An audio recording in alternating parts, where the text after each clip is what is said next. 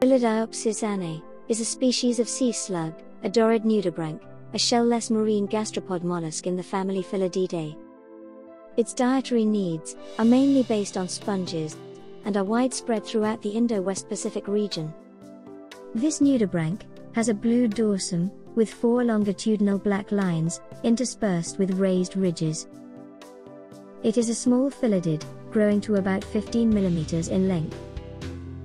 There are sometimes black spots in the region, between the outer black lines and the edge of the mantle. The rhinophores are black. It is similar to Phyllidiopsis seychensis, except for the color of the rhinophores, which are lemon colored or white in that species.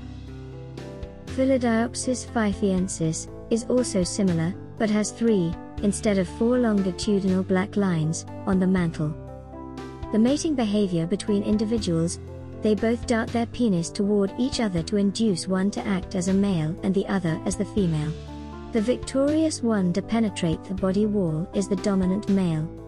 The eggs are then deposited on a substratum, where they develop and hatch into planktonic vestigial veliger larval stage and further grow as adults. The mating behavior between individuals both darts their penis toward each other to induce one to act as a male and the other as the female. The victorious one to penetrate the body wall is the dominant male. The eggs are then deposited on a substratum, where they develop and hatch into planktonic vestigial veliger larval, and further grow as adults. Here in Alegria, Cebu, these are just one of many nudibranchs, seen on the coral reefs of Santa Filomena.